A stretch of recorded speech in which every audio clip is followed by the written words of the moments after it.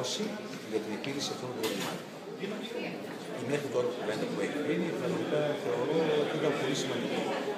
Και θέλω να πιστεύω ότι πρέπει να τελειώσουμε και όση ώρα και να πάρει, θα έχει Ποια είναι τα κυριότερα προβλήματα που σας έχουν ε, ουσιαστικά το μεγάλο πρόβλημα είναι αυτό το πρόβλημα που αντιμετωπίζω και εγώ ως υπουργός παιδείας.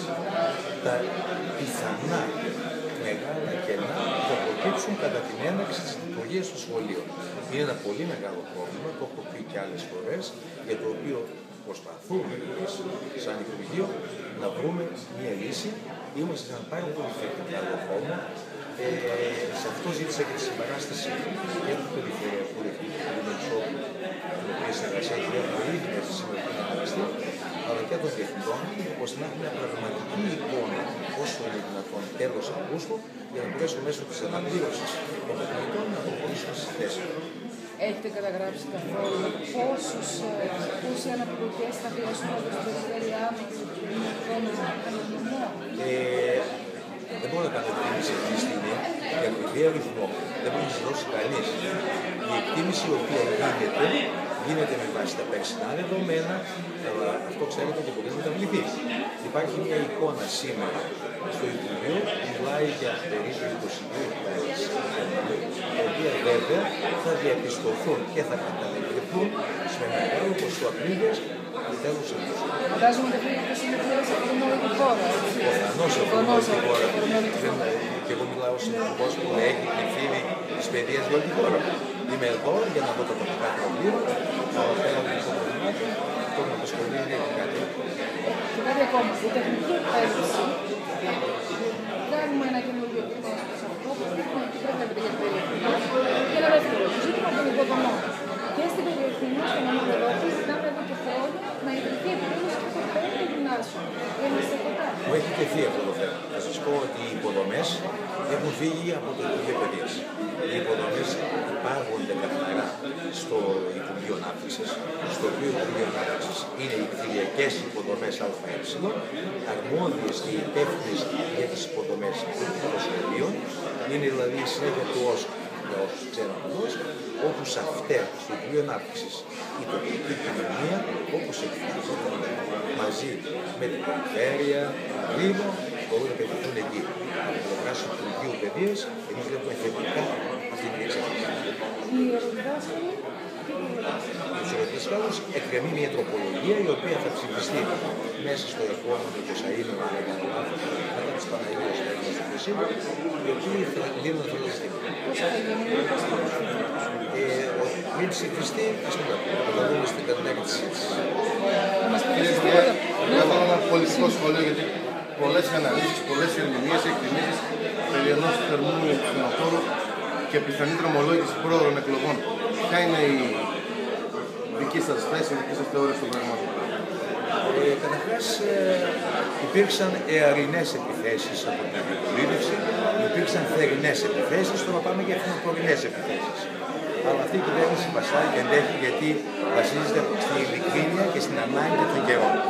Θέλω να πω λοιπόν ότι εκλογές, αυτοί που τι εύχονται να σκεφτούν τι θα συμβεί εάν γίνουν εκλογές αυτή την περίοδο.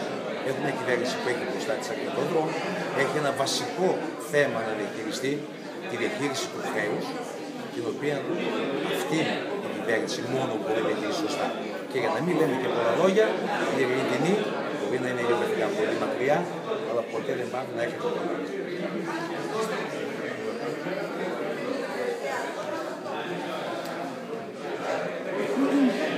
Ε, ευχαριστώ πολύ. Έχουμε τη χαρά και την τιμή σήμερα να έχουμε τον Υφυπουργό Παιδείας, ε, τον κύριο Αλέξανδρο Δομητρόπουλο εδώ για μια συνάντηση εργασίας με τη στήριξη της εκπαίδευσης. Βλέπετε ότι η σύσσωμη εκπαιδευτική κοινότητα σε επίπεδο στελεχών στην καλοκαιρινή περίοδο εργάζεται και προετοιμάζεται για την έγκαιρη και ομαλή ε, περίοδο που θα ανοίξουν τις πολιτικές ε, μονάδες και θα υποδεχθούν τους μαθητές. Κάναμε μια πολύ υψηλού επίπεδου ε, συζήτηση και η οποία θα συνεχιστεί και, και τώρα, σε λίγο. Ε, θέσαμε τα θέματα στον κύριο Υφυπουργό. Είναι ένας άνθρωπος ο οποίος θεωρητικά ε, είναι περιοχή μας. Δεν, είχα, δεν έχουμε πολλές φορές την τύχη να έχουμε στην Υπουργείο Παιδείας, ενώ παλιότερα είχαμε και τον κύριο Ελπίδη Στυλιανίδη, λέω στο προηγούμενο διάστημα. Έτσι λοιπόν ε, η περιφέρειά μας ε, αποτύπωσε την υπάρχουσα κατάσταση με την, και τις κτηριακές υποδομές και τα ελλείμματα στο προσωπικό, χωρίς υπερβολές, ε, ακριβώς έτσι όπως είναι. Λέμε ότι υπάρχουν και αισιόδοξα μηνύματα. Ε, Σας άκουσα πριν ότι ορίζονται και τα κενά. Τα κενά μπορούν τα λειτουργικά να προσδιοριστούν αφού γίνουν και οι αποσπάσεις. Εάν δεν γινόντουσαν αποσπάσεις ή οι αποσπάσεις είχαν ένα θετικό πρόσημο για εμάς, θα μιλούσαμε για λίγα κενά στις βασικές ειδικότητες. Νομίζω ότι ο προγραμματισμός έχει γίνει από εμάς σε ένα ε, σημείο 90% και είμαστε έτοιμοι σε συνεργασία με το Υπουργείο να τον ολοκληρώσουμε και να έχουμε σε, εν μέσω μιας κρίσης ε, δημοσιονομικής, όπως σας είπε ο κύριος Υφυπουργός πριν, ένα από τα καλύτερα ίσως ξεκινήματα που μπορούσαμε να κάνουμε ε, έναρξη λοιπόν της σχολικής χρονιάς. Ε, δουλεύουμε πάρα πολύ γι' αυτό. Θέλουμε να έχουμε σύμμαχο και το Υπουργείο, την πολιτική ηγεσία, την έχουμε. Συζήτησα κατηδίαν και με τον κύριο Δερμετζόπουλο και άλλα εξειδικευμένα θέματα όπως έχουν να κάνουν με άλλες δομές της εκπαίδευσης, με τα κέντρα περιβαλλοντικής εκπαίδευσης, με τα, με τα ΚΕΔΗ, με την ειδική αγωγή, με τη μειονοτική εκπαίδευση, που είναι σοβαρά ζητήματα για την περιοχή μας. Και νομίζω ότι βρισκόμαστε σε ένα πολύ καλό επίπεδο. Νομίζω ότι αυτό που έχουμε να καταθέσουμε είναι την αγάπη μας για την εκπαίδευση, την αγωνία μας για την πρόοδο της ε, εκπαιδευτικής διαδικασίας και την, να καταθέσουμε την πολλή δουλειά που μπορούμε να δώσουμε σε αυτό το θεσμό και σε αυτό το, το, το ρόλο που έχουμε αναλάβει. Χρονικά μπορείτε να μας δώσετε ένα χρονοδιάγραμμα πότε θα πάρθουν οι αναπληρωτές, πότε οι ορομήσει και τα Συγκριτικά με πέρυσι καλύτερα ή με τα προηγούμενα χρόνια.